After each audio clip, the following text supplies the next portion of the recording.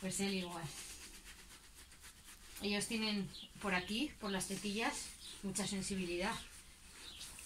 Y siempre te la, y siempre te la muestran porque les gusta.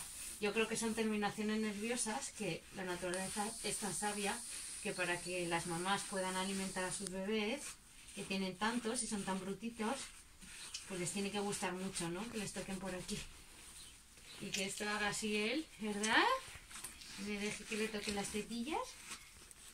Muy bien. Tampoco lo hacía antes. Poco a poco.